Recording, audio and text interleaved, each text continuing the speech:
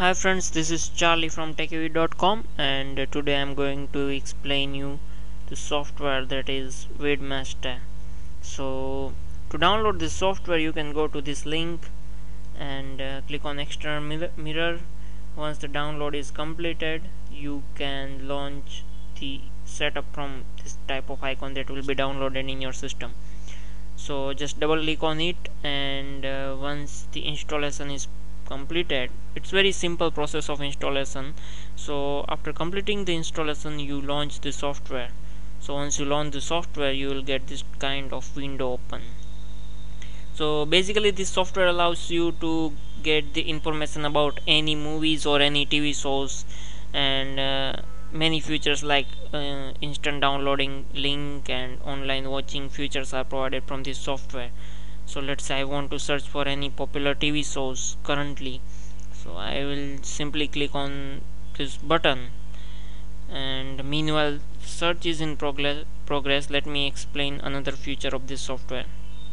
So from the title you can provide the title of the movie about which you want to know something or you want to download. So you can provide the title over here. Then you can specify the category.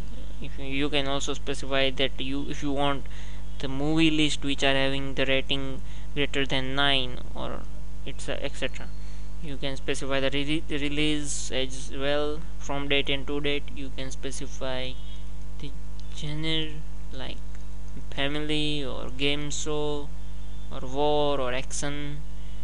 Etc similarly so this list is shown currently. The search is in progress and we can see here that search is uh, searching is done currently over here now when the list is shown you can right click on that. There are options available. If you want to read summary you can read it.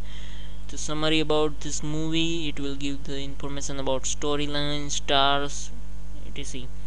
Now from these buttons you can watch the trailer. You can download. From here these two links are provided. Then you can watch online as well. You can also specify that uh, whether it's 720 HD should be searched or 1080 HD should be searched.